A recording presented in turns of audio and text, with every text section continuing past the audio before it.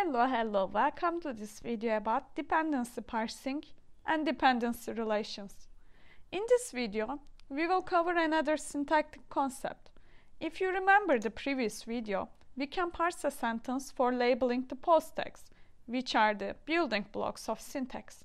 POS tags are quite useful, however they don't offer a structured representation for the sentence.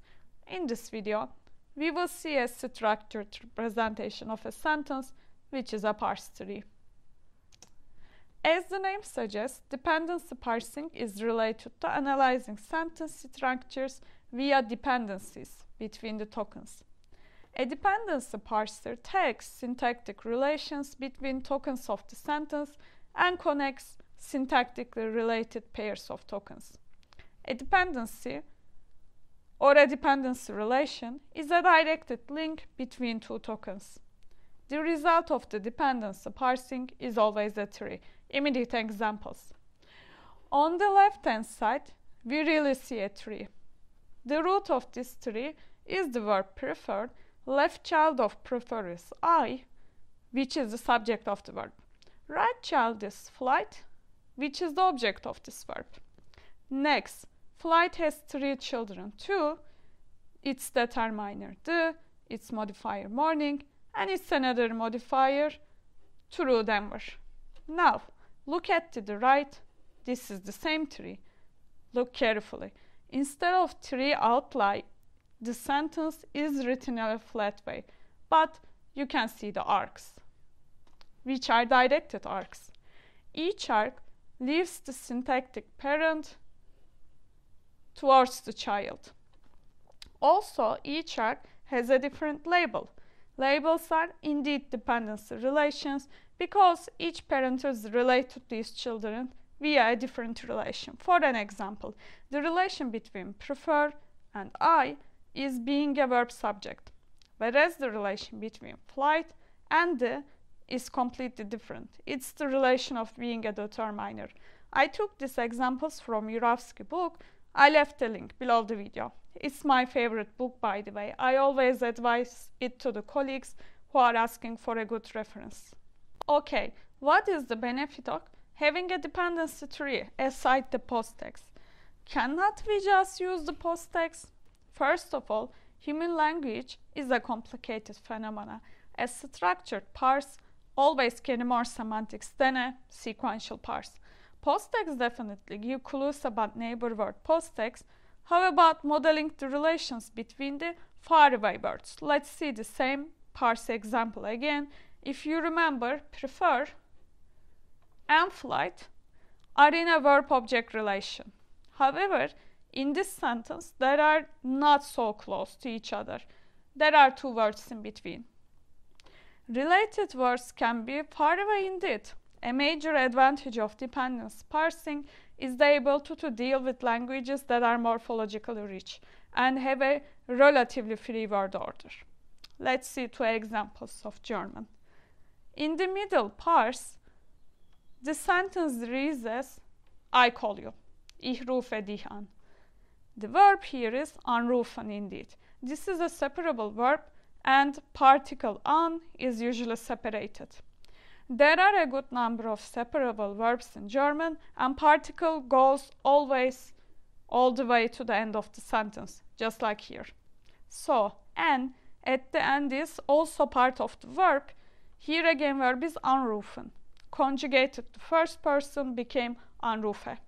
As we see, rufe and an are different positions in the sentence but quite related because they are parts of the same verb. They add up to the sentence verb. Okay, now what happens in this sentence 3? This sentence reads as, I call you tomorrow.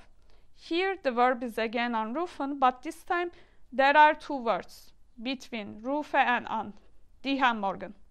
Quite far away and more words can come in between because of German grammar rules. How to model this with POS tags? That's not very possible. Rufe is labeled as verb and an is labeled as a particle, which is correct, but it doesn't indicate any relationship between these two verb parts.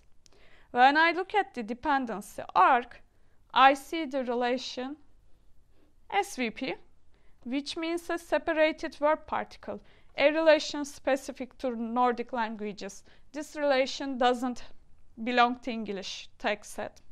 I will put a link to the German TD Bank paper if you want to learn further about this relation. Okay, now we come to more practical concerns. What is the use of dependency relations in NLU then? Quite a number of statistical methods in NLP revolve around vector representations of words and treat a sentence as a sequence of words. As we saw in earlier examples, a sentence is more than a sequence of tokens. It has a structure. Every word in a sentence has a well-defined role, such as verb, subject, object, and so on. Hence, sentences definitely have a structure. This structure is used extensively in chatbots, question answering, and machine translation. The most useful application that first comes to mind is determining the sentence object and subject. Think of a travel agency scenario. Imagine a customer is complaining about the service. Compare the two sentences. I forwarded you the email and you forwarded me the email. The wording is almost the same. Better if we eliminate the stop words I, you, me, and the. This is what remains. Though the remaining parts of the sentences are identical, sentences have very different meanings and, of course, require different answers. In the first sentence, the sentence subject is I. Then the answer most probably will start with you, and the second sentence subject is you, which will end up in a I answer. Obviously, the dependency parser helps us to go deeper into the sentence syntax and semantics. Okay, let's explore more. Let's dissect the dependency relations. A dependency relation is a binary grammatical relation. A dependency label describes the type of syntactic relation between two tokens as follows. One of the tokens is the syntactic parent, called the head, and the other is its dependent called the child. A dependency relation looks like this. This is the list of English dependency relations. I took them from the Universal Dependence website. I will leave the link below. Well, that's a long list.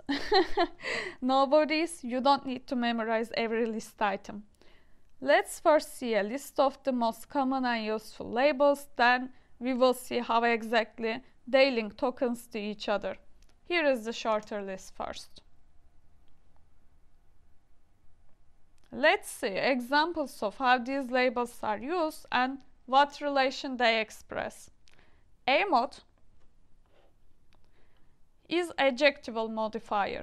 As understood from the name, this relation modifies the noun or a pronoun. In the first sentence, we see that black modifies sheep. Aux is what you might guess. It's the dependency relation between an auxiliary verb and its main verb. The dependent is an auxiliary verb and the head is the main verb. In the second sentence, we see that has is the auxiliary verb of the main verb gone. Compound is used for the noun compounds. The second noun is modified by the first noun. In the first sentence, Phone book is a noun compound and the phone noun modifies the book noun. The det relation links a determiner, the dependent, to the noun it qualifies, its head. In the second sentence, the is the determiner of the noun cat. Next, we look into two object relations, dative and the. The object relation is between the verb and its direct object. A sentence can have more than one object, such as in this example, a direct object is the object that the verb acts upon, and the others are called indirect objects. A direct object is generally marked with accusative case. A dative relation points to a dative object which receives an indirect action from the verb. In the sentence shown, the indirect object is me and the direct object is book. nsubj and and such past are two relations that are related to nominal sentence subject. The subject of the sentence is the one who committed the action. A passive subject is still the subject, but we mark it with n sub past. Again, in the same sentence, Susie is the nominal subject of the first sentence. You is the passive nominal subject of the sentence in the second example. We have now covered sentence, subject, and object relations. Now we will discover two modifier relations. One is the nummod, numeric modifier, and the other is the poss, possessive modifier. A numeric modifier modifies the meaning of the head noun by a number or quantity. In the first sentence, nummod is easy to spot. It's between 4 and cats. A possessive modifier happens either between a possessive pronoun and a noun or a possessive apostrophe s and a noun. In the sentence shown in here, my is a possessive marker of the noun cat. Last but not least is the root label, which is not a real relation but it's a marker for the sentence verb or root of the tree. A root word has no real parent in the syntactic tree. The root is the main verb of the sentence. In given and is are the corresponding roots. Notice that the root node has no incoming arc that is no parent.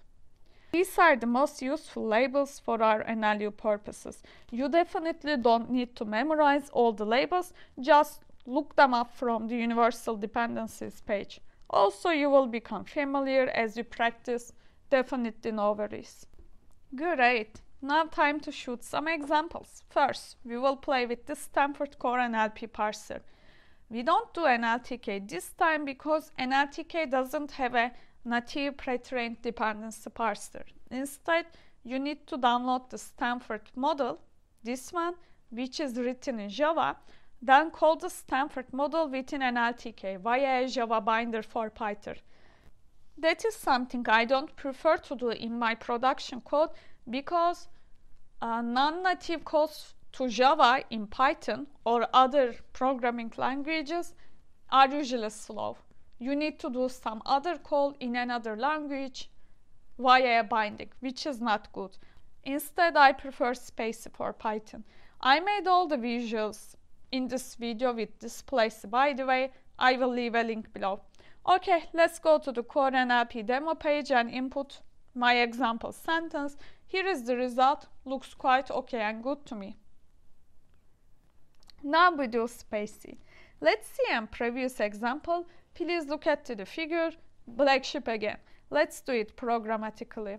The dependency label is assigned to the child. Token objects have dep, which is an internal ID, a number, and dep underscore Unicode properties that hold the dependency label.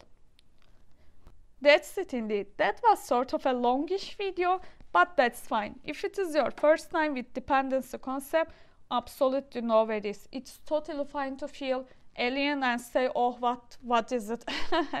but it's okay. You learned them now. I am pretty sure you will have some places to exercise your knowledge. Don't be scared to just, you know, print the parse tree, have a look. Just look, always examine the corpus by your eyes a couple of times. Thank you for joining again. See you in the next video. Bye bye.